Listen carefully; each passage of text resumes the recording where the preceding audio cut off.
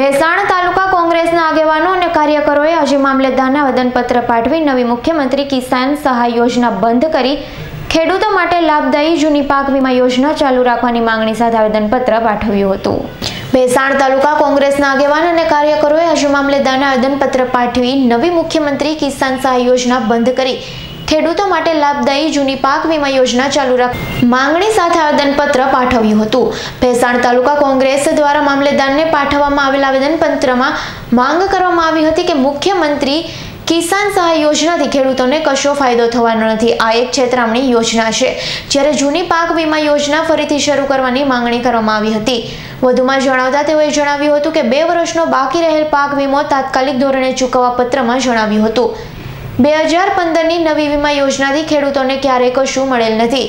ખેડૂતોને ભવિષ્યમાં ક્યારેય કશું મળવાનું નથી. હાલ ખેડૂતો દેવાના ડુંગર નીચે દબાઈ ગયેલા હોય છે. આ બાબત આવેદનપત્રમાં જણાવી જૂની પાક યોજના શરૂ કરવાની માંગ કરવામાં આવી હતી. ભેસાણ તાલુકા કોંગ્રેસ પ્રમુખ વજુભાઈ મોવલિયા આજરોજ ભેસાણ મુકામે તાલુકા કોંગ્રેસ, તાલુકાના સહકારી આગેવાનો, તાલુકાની તમામ સંસ્થાઓ અને કોંગ્રેસના તમામ પદાધિકારીઓ ભેગા મળીને ગુજરાત સરકારે જે કિસાન સીએમ કિસાન સહાય યોજના જાહેર કરી છે, એની વિરુદ્ધમાં આવેદનપત્ર આપવાનું નક્કી કરી અને અમે આવેદનપત્ર મામલતદાર શ્રી મારફત ગુજરાત સરકારને આપેલ છે. ગુજરાત સરકારે જે કિસાન સહાય યોજના જાહેર કરી છે, એમાંથી ખેડૂતોને કશું જ મળવાનું નથી. અમારી માગણી છે કે આ વીમા યોજના સરકાર બિલકુલ બંધ કરવા માગે છે, એટલા માટે આવા નવા ગતકડા કાઢી અને ખેડૂતોને ગુમરાહ કરે છે.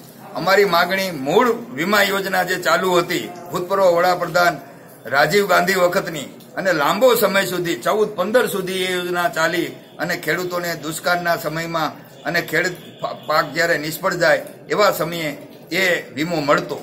એ સરકારે વીમો બંધ કરી અને કેન્દ્ર સરકારે નવી વડાપ્રધાન ફસલ વીમા યોજના જાહેર કરી, ચૌદમાં જાહેરાત કરી અને પંદરમાં એની અમલવારી કરી. પંદરથી બે હજાર સુધી ખેડૂતોને કશું મળ્યું જ નથી. પ્રાઇવેટ કંપનીઓએ લૂંટાલૂંટ કરી અને સરકાર એને અઠાવન ટકા સુધી પ્રીમિયમ સરકારશ્રીએ ભીરું અને ખેડૂતોના અને સરકારના આ તેજુરીના પૈસા આ પ્રાઇવેટ વીમા કંપનીઓ લઈ અને જતી રહી. અને ખેડૂતોને કશું મળ્યું નથી. આ નવી યોજનાથી પણ મળવાનું નથી. મૂળ વીમા યોજના અમારી ચાલુ કરે અને ભાવાંતર યોજના દાખલ કરી અને ખેડૂતોને પોષણક્ષમ ભાવ મળે એવી માગણી સાથેનું અમે આવેદનપત્ર આજે આપ્યું છે. અસ્તુ ભારત માતા કીજે વંદે માત્ર વનરાજ ચૌહાણ સાથે અશોક બારોટનો રિપોર્ટ જુનાગઢ.